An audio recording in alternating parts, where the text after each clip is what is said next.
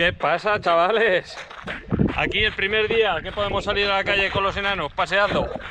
Y bueno, ya que esta temporada 2020 se nos ha ido al palco, pues también es un buen momento para pensar en qué hacer en el 2021.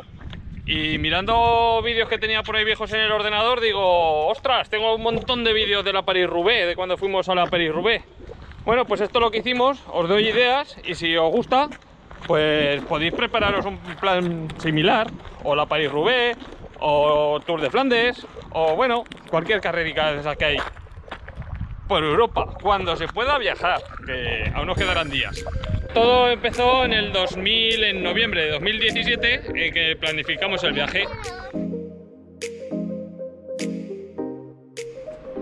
Pues había que preparar un montón de cosas. A ver cómo íbamos a ir, si en avión, en furgoneta, en el coche. Al final alquilamos una autocaravana, la más pequeña que encontré, pero bien chula. Un poco apretados íbamos, pero oye, divertido. No había ido en una autocaravana en mi vida. Pero hay unas aplicaciones para móviles que le das a buscar ahí en el mapa y te dicen todos los aparcamientos de autocaravanas. y una maravilla, a tiro hecho. Y la bicicleta, me costó un montón de, meses preparar la bicicleta, a ver qué ruedas cogía, a ver qué cuadro. Al final fui con una FEL de carbono, freno de disco, ruedas de perfil, tubular, un tubular de 27, con una presión de 5 kilos.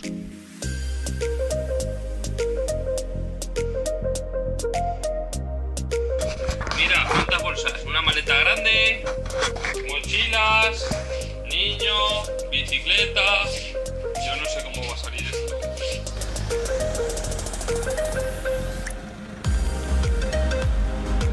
El lío para meter la bici, que no sabíamos si iba a entrar.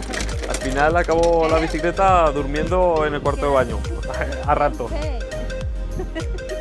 Aquí tenemos el zancocho de furgoneta. estamos preparando todo. ¿Aún entrarán cosas o qué? Sí. Vamos por el medio de Francia, perdido, no tengo ni idea de las carreteras, pero bueno, Bien, de momento vamos bien. Hemos repostado agua, hemos tirado la.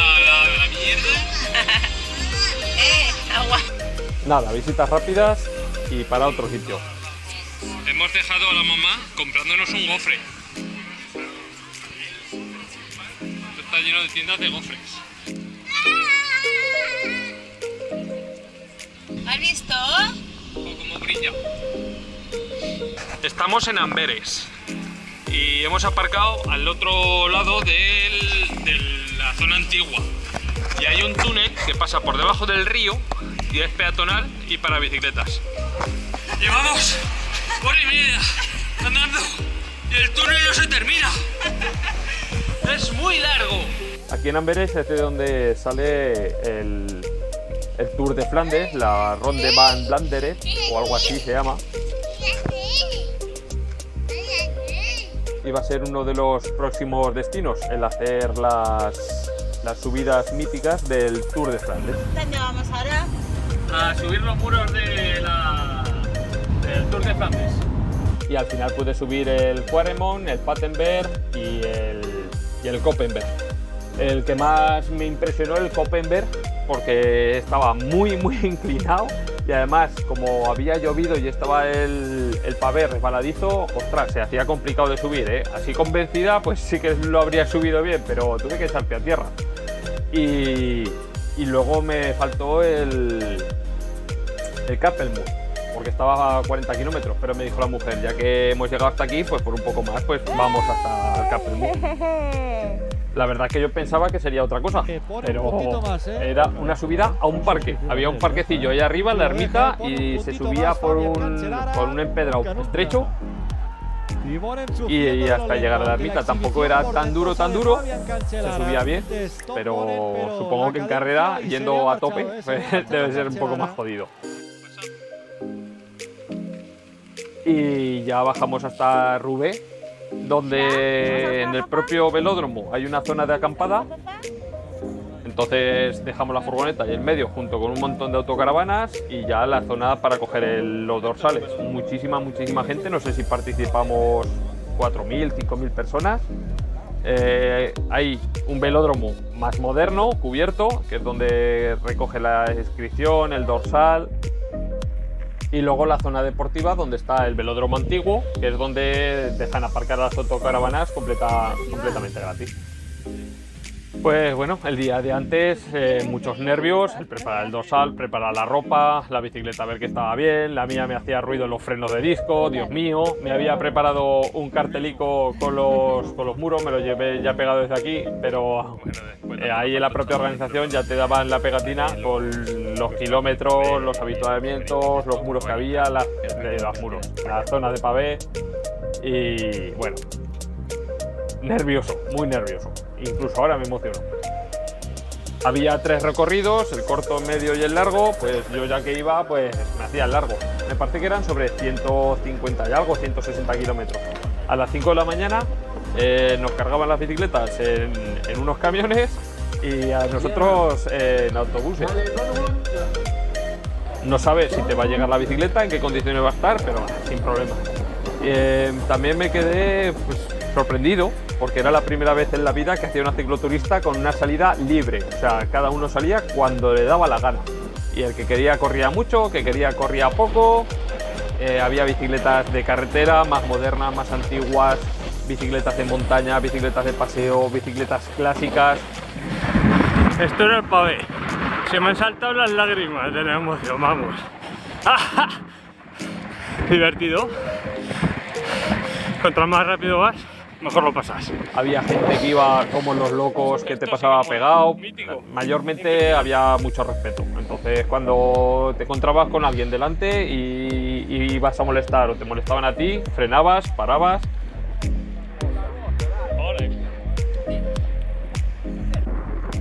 El primer paso de adoquines dije, bueno, pues tampoco es tan duro, pero conforme te van acumulando uno, otro, otro, otro, otro, dices, ¡ostras! Esto y sobre todo cuando te tocan los de 4 estrellas y los de 5 estrellas. Oh. ¡Qué dolor de manos! ¡Ja! ¡Qué guay!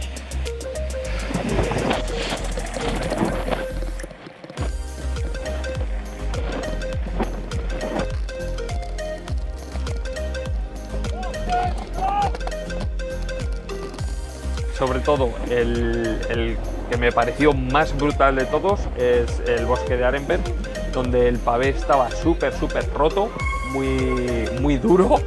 Ibas todo el rato pegando golpes, me, dolieron las, me dolieron las manos una barbaridad. Incluso tenía casi casi que parar para sujetar mejor el manillar porque me dolían muchísimo. Y fue cuando me di cuenta que me había faltado lo de cintarme los dedos, como llevan algunos profesionales. Creo que eso no habría estado de más porque donde lo pasé mal realmente fueron los dedos. El sillín sin problemas, la bicicleta perfecta. Me puse una presión de unos 5 kilos en los tubulares, eran de 27 milímetros y fue la, la, presión exacta, o sea, fue para mi peso y mis características, oye, lo mejor.